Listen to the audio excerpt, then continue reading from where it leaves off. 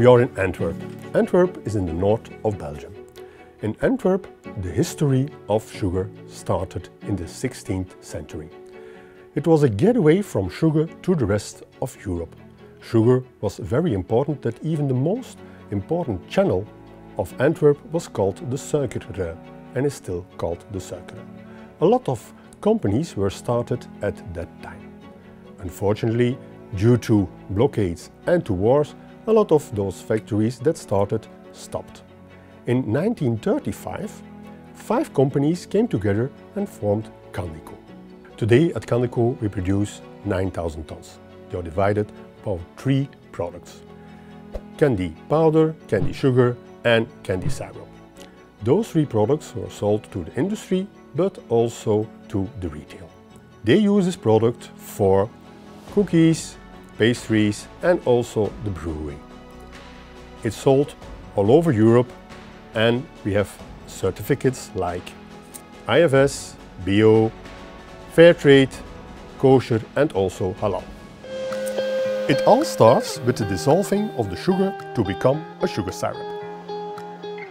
Sugar syrup slowly recrystallize in containers and the result are beautiful crystals, brown or white. The next step is harvesting and the division of the crystals obtained in the different fractions according to their size.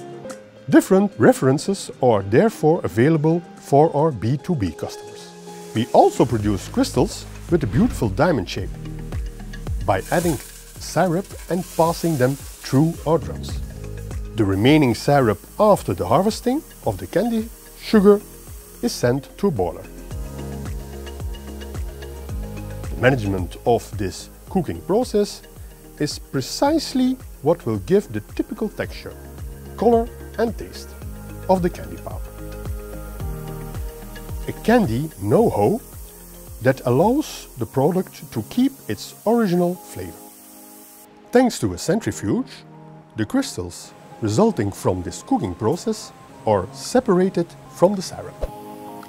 The crystals form the candy powder and will be packed in 25 kg or 1 kg bag for the retail. And the syrup will be packed in containers, jerry cans or small 45 gram bottles. The completely process is followed up by the local quality department.